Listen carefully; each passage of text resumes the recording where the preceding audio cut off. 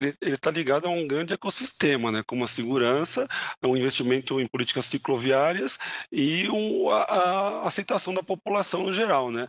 Ah, quem anda de bicicleta, ele está tirando um carro da rua, ele está deixando de ser uma pessoa dentro do ônibus, ele consegue ir para a escola, ir para o trabalho, usar a bicicleta no dia a dia, mas para isso a gente precisa de uma cooperação maior. Então, se o poder público investir mais em políticas cicloviárias, trazendo com menos é, impostos, menos taxação sobre isso, fazendo a bicicleta mais acessível, a gente tem certeza que é um, um meio de transporte do futuro, como já é realidade em outros países da Europa. Né? Muitos passageiros reclamaram da superlotação nos ônibus de Curitiba neste feriado. Hoje teve até confusão. Foi no terminal do Auer.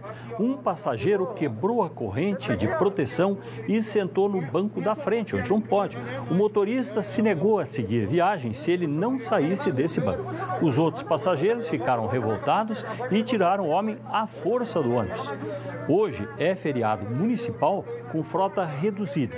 Em nota, a Prefeitura de Curitiba disse que o motorista seguiu corretamente o protocolo de segurança para não colocar em risco os passageiros. A empresa deverá informar a URBS da ocorrência, seguindo a norma de funcionamento do transporte público de Curitiba. Há uma lógica na vida em sociedade, que é o direito e o dever. O que é que você tem de direito e o que você tem de dever? Dever, aí no caso, é proteger a vida do outro. Só que nós vivemos hoje no momento que todo mundo acha que só tem direito, ninguém tem dever nenhum. Então, as pessoas passam do limite e criam problemas assim desnecessários. Voltamos amanhã. Boa noite para você.